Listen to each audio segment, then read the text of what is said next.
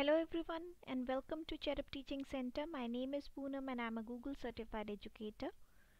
In today's episode, I'm going to train you on making flowchart using Google Drawings.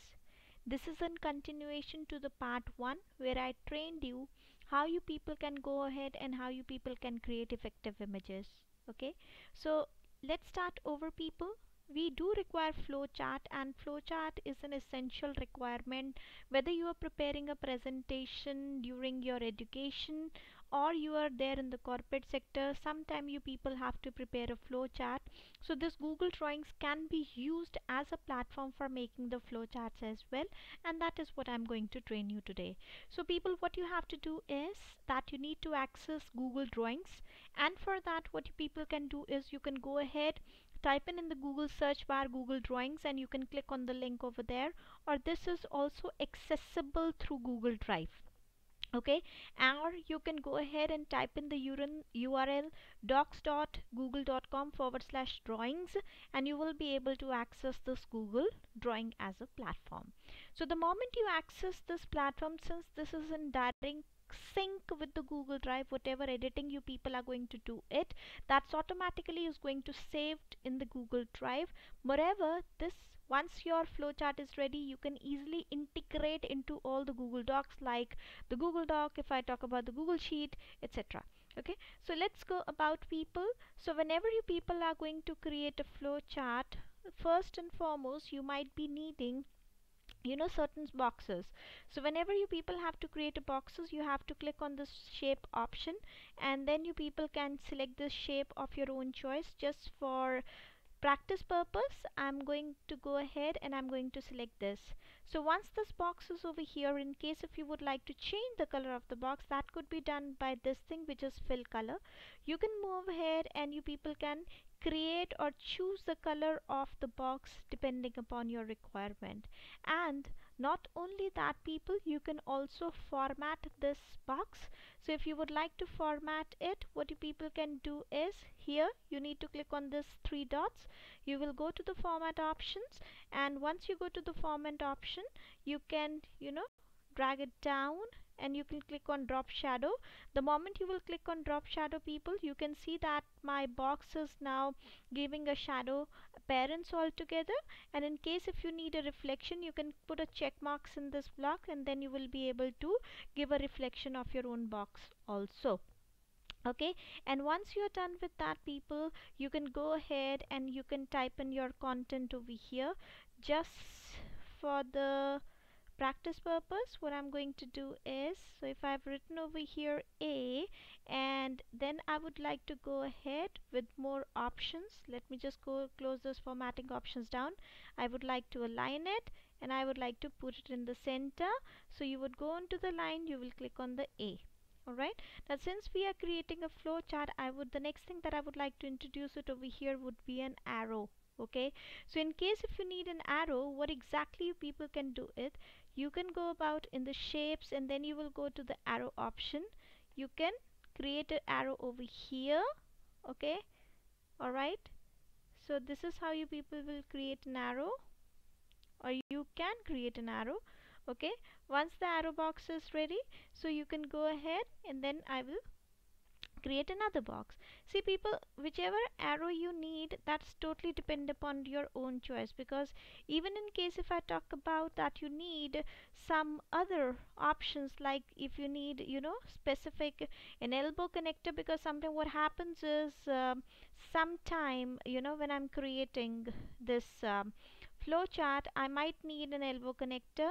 So what I can do is I can you know straight away I can go ahead and this is how I can design my elbow connector okay?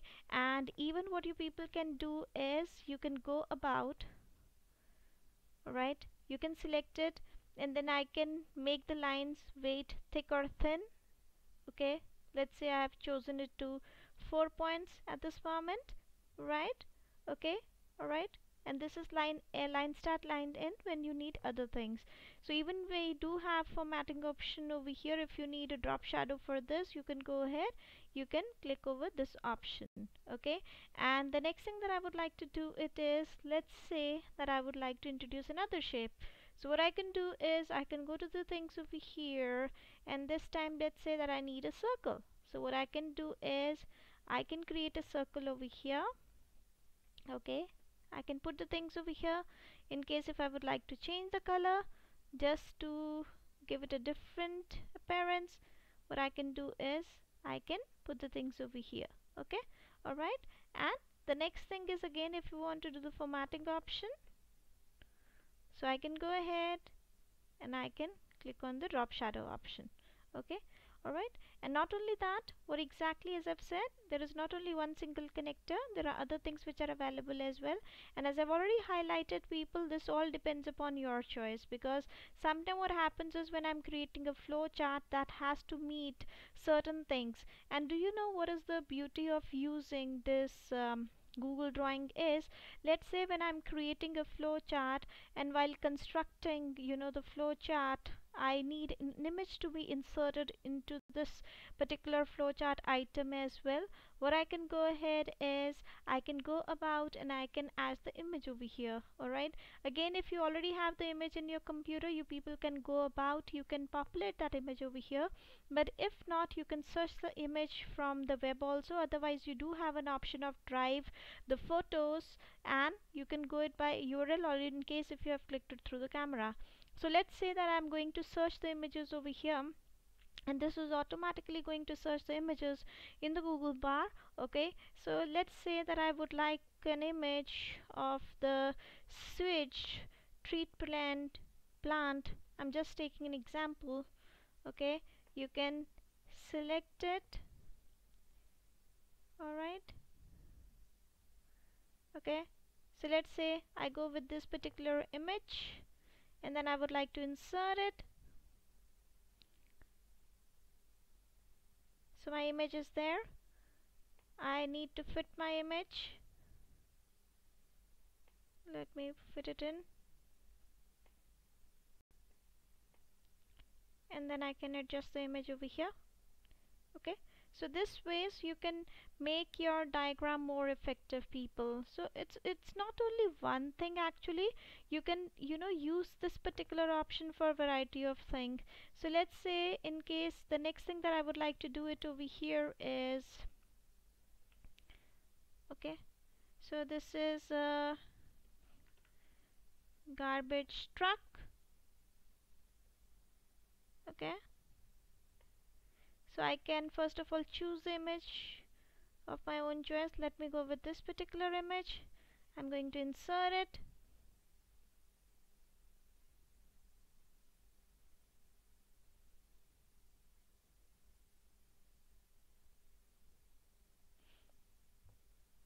And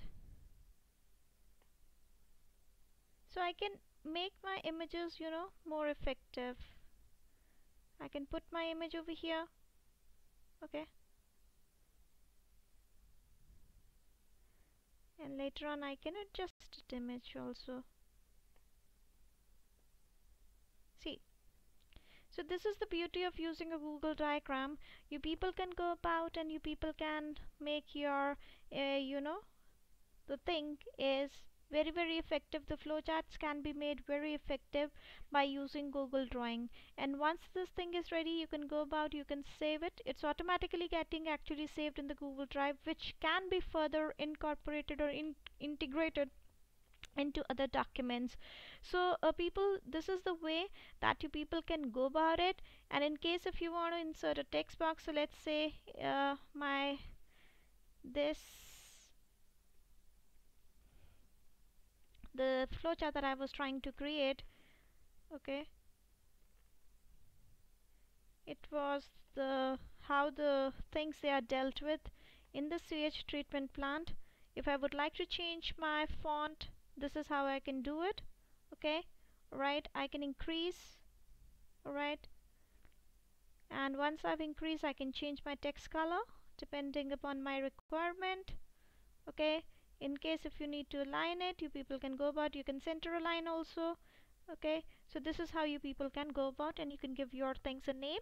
And text box can be inserted at each and every stage. So let's say if I would like to this is my stage A I can go about and I can you know you know type in the things over here and individually also. So this is how people just by inserting the images you people can go about and you people can make your you know flowcharts very very effective. You know one of the another important use is uh, even in the organizational chart if i talk about if you're constructing a hierarchy you are creating a flowcharts in regards to it for the hierarchical plan. You people can insert the images of the individuals also. That would give your flowchart a better appeal. So now you people can go about you can explore this tool and then you people may go ahead and start making your flowcharts lot effective in a much effective manner. So thank you very much people for watching today's tutorial. In order to make your flowcharts more effective so you people can go about and now designing your flowcharts in a much effective manner by integrating the images which is available in the Google search images as well okay?